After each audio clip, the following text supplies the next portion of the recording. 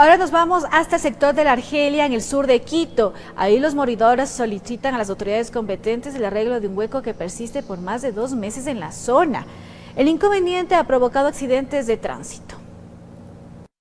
De acuerdo a las versiones de la comunidad, el problema surgió por una fuga de agua que se produjo hace aproximadamente cuatro meses. Tras el reporte ciudadano, el problema fue solucionado. Los vecinos aseguran que desde entonces personal municipal se comprometió en reponer los adoquines y dar mantenimiento a la vía, pero han pasado más de ocho semanas sin tener respuesta. El hueco conforme pasan los días es más profundo. Varios moradores mencionaron que cada vez que pasa un vehículo las viviendas vibran. Dejaron así, dijeron que había que esperar nomás y no vinieron más. Esto vibra la casa cuando pasan los carros pesados y todo.